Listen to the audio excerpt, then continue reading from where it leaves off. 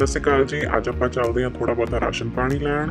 ਇੱਥੇ ਸਾਡੇ ਘਰ ਦੇ ਕੋਲ ਹੀ ਰੀਅਲ ਕੈਨੇਡੀਅਨ ਸੁਪਰ ਸਟੋਰ ਹੈ ਜਿੱਥੋਂ ਕਿ ਅਸੀਂ ਆਮ ਤੌਰ ਤੇ ਰਾਸ਼ਨ ਲੈਣ ਜਾਈਦਾ। ਚਲੋ ਫਿਰ।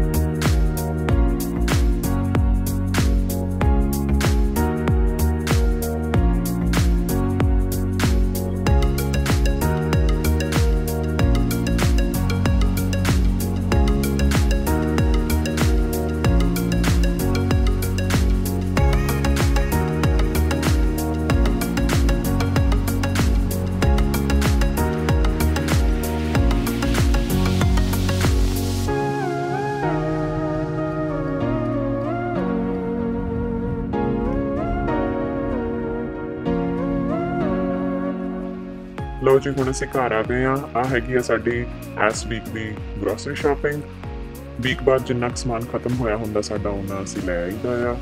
ਸੋ ਤੁਸੀਂ ਦੇਖ ਹੀ ਸਕਦੇ ਆ, ਇਸ ਵੀਕ ਅਸੀਂ ਆਹ ਤਿੰਨ ਕੈਨੀਆਂ ਜਿਹੜੀਆਂ ਦੁੱਧ ਦੀਆਂ 12 ਕਿਲੋ ਦੁੱਧ ਹੋ ਗਿਆ।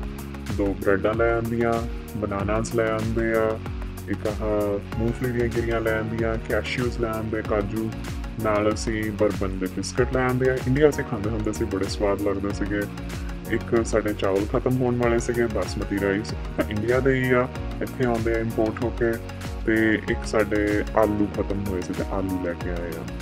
ਇੱਕ ਅਸੀਂ ਮੈਂਗੋ ਦੇ ਪਲਪ ਦਾ ਜਾਰ ਲੈ ਕੇ ਆਂਦਾ ਆ। ਹੁਣ ਜਦੋਂ ਆਬਵੀਅਸਲੀ ਸਰਦੀਆਂ ਦਾ ਮੌਸਮ ਚੱਲ ਰਿਹਾ, ਅੰਬ ਤਾਂ ਇੱਥੇ ਮਿਲਦੇ ਨਹੀਂ ਤਾਜ਼ੇ।